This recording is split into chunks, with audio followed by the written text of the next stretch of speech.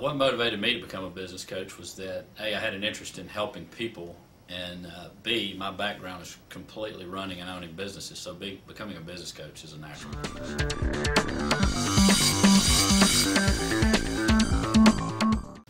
Before becoming a biz, uh, ActionCOACH, I, uh, I owned and ran businesses for the last 25 years. So the, the biggest accomplishments were uh, turning around a business from a, a negative uh, cash flow situation to uh, profitability in three years, and uh, growing a business to uh, to 1.4 million from zero.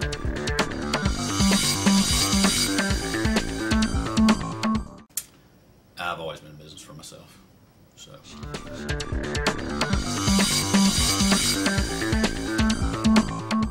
I, I like everything about being a coach. I think it's the greatest thing in the world. We get to help people and we get paid for it. Thank you.